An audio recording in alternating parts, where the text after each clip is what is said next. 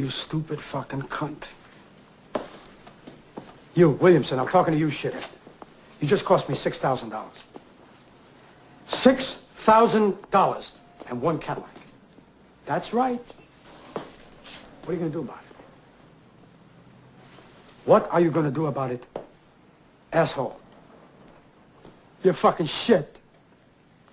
Where did you learn your trade, you stupid fucking cunt, you idiot? Whoever told you that you could work with men? Could I, uh... Oh, I'm gonna have your job, shithead. I'm going downtown. I'm gonna talk to Mitch and Murray. I'm going to Lemkin. I don't care whose nephew you are, who you know, whose dick you're sucking on. You're going out. I swear to you, you're going... Let's get this done. Anyone in this office lives on his wits.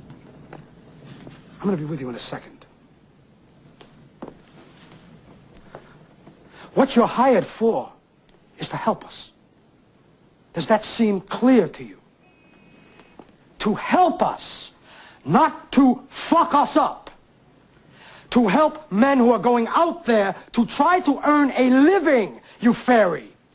You company man. I'll tell you something else. I hope you rip the joint off. I can tell our friend here a little something might help him to catch you.